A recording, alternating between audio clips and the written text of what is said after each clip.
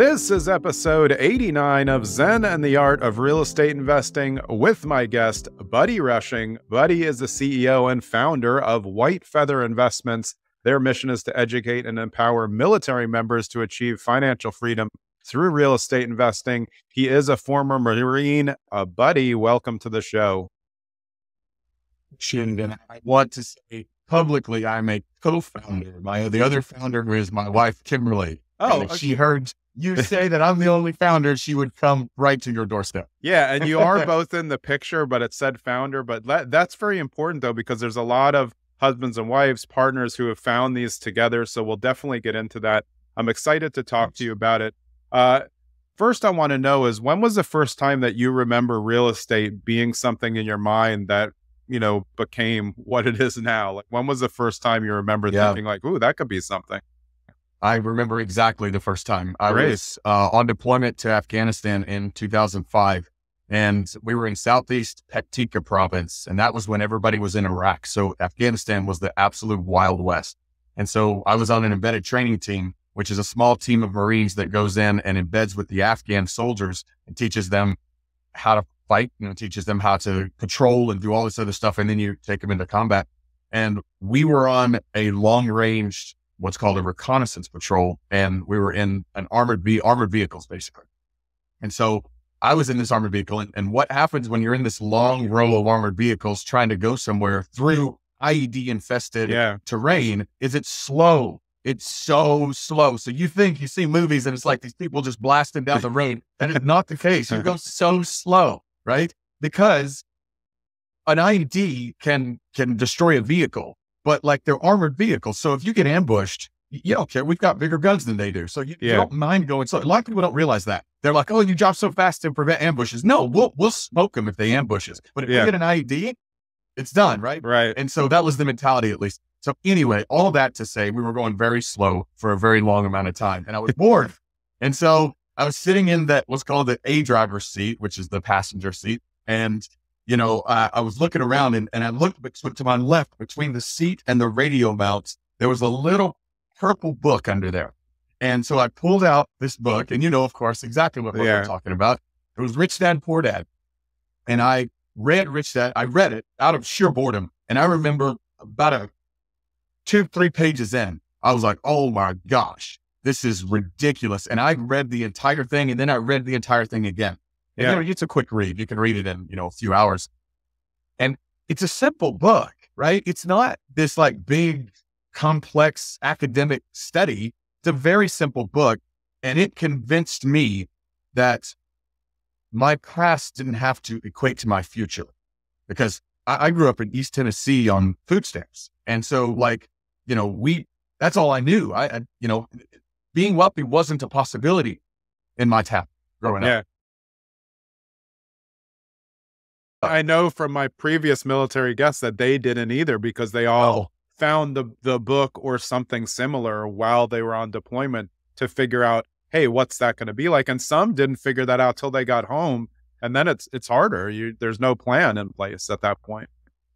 Yeah, exactly. And so you're you see people they they serve in the military and then you know they get out and a lot of times their life and their lifestyle degrades after service for sure. Lot, that's the common story, right? And it's it's unfortunate. It doesn't have to be that way. It's just, you know, whenever people, whenever you, especially in like the Marine Corps, you're in a very structured environment.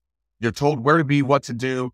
You're supported in all aspects. You're supported financially. You have a mission and a purpose.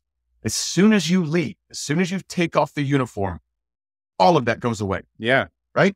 The income, the camaraderie, the community, the structure, the mission, and the purpose all of it goes away. Yeah. Imagine what that does to your system. Yeah, I think from the outside, some people could think like, "Oh, great, you finally have freedom," but it's like, well, I don't even know what to do. You're used to just be going through your day, looking at the schedule, and everything is so you know has to be on point, or else it's not going to work out. And then you know you're home adjusting to something new, but also having to figure out like, okay, well, if I'm out now for good, what's the scale? Like, you know, a lot of if you went in when you were young, it's not like you you're coming out knowing like, hey, I know what exactly what I'm going to do right now. Yeah, exactly. And that unknown, I mean, it, it really does. Um, it, it, the training obviously doesn't really prepare you for that, right? The training prepares you to do the ordinary in extreme situations. Well, how often in the civilian world do you need to do the ordinary in extreme situations? Yeah. Uh, you're mostly uh, doing the ordinary in ordinary situations, right? W- waiting in a, waiting in an SUV in a car line at school to pick up kids isn't really the same as driving through a field with these IEDs. I mean, right? Yeah. But the stresses are nevertheless real. They're just different. And so, you know, for me, to answer your question, um, that that book allowed me to dream and to and to get gave me permission to believe that I could create, I could change the legacy of poverty that my family had come from.